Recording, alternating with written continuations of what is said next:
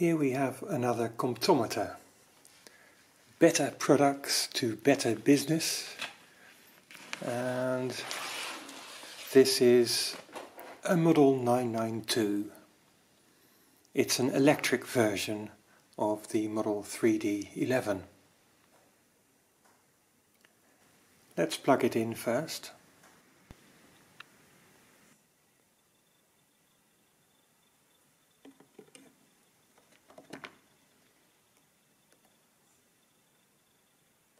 This machine looks just like a manual comptometer, except that the keys are all at the same height and the key stems are quite short. This machine was advertised as having a floating touch. Basically, you can press a key very lightly and it will still work. The electric motor is very quiet,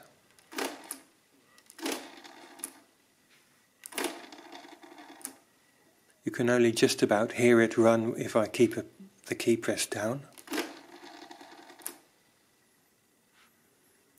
Clearing is with this lever, that doesn't involve the motor.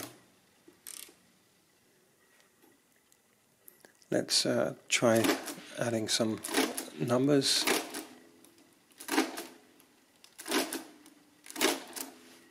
There we go, 3,330. Notice how the zero is visible as a, a filled in zero and the zeros that are not used are all blank.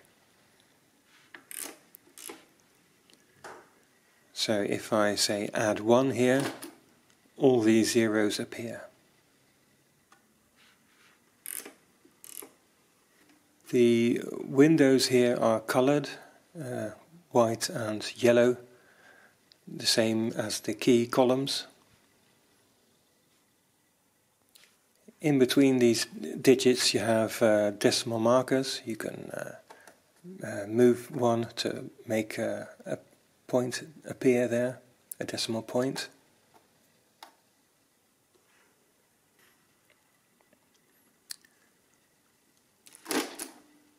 The uh, carry uh, suppression buttons, they can uh, stick down so you can use this one-handed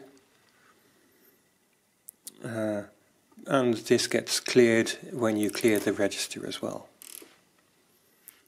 It's only in the starting position that they don't stick down but that doesn't matter, you're not going to do a subtraction straight away.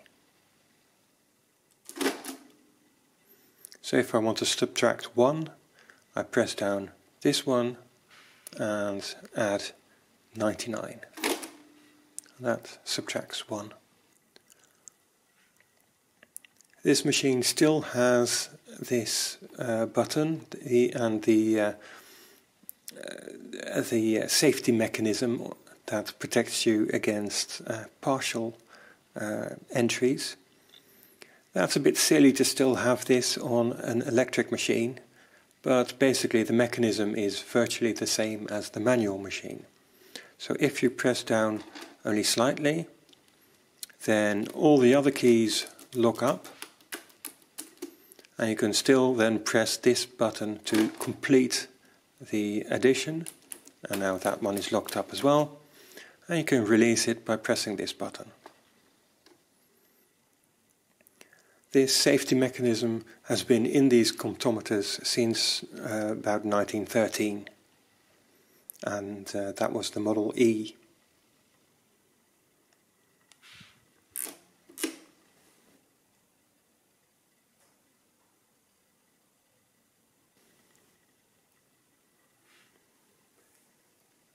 So that was the comptometer model 3D11992.